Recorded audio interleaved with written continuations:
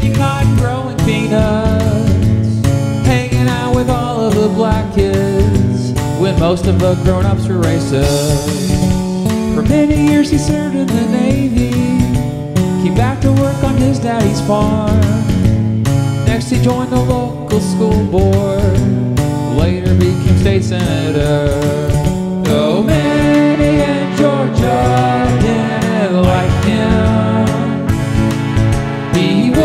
Become their most famous governor.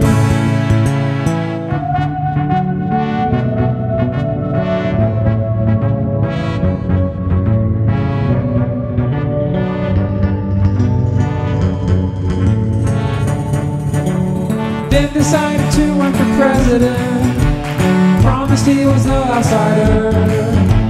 Some called him two-faced and phony. And 76 won anyway. And fireside chats with the people, liked all the deregulation. Helped reduce the Camp David Accords. Strongly for a balanced budget. But then the Iranian hostage crisis and so many Cuban refugees. Between high gas prices and inflation, the country had enough of him. Yeah.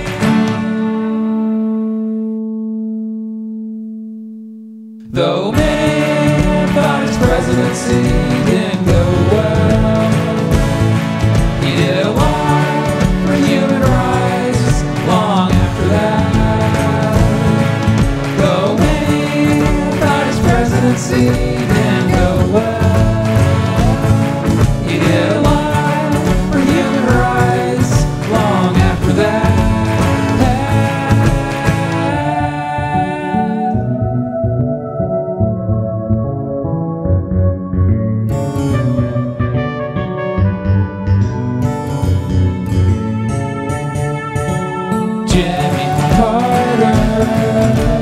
Jimmy Carter, Jimmy Carter, Jimmy Carter, Jimmy Carter, Jimmy Carter.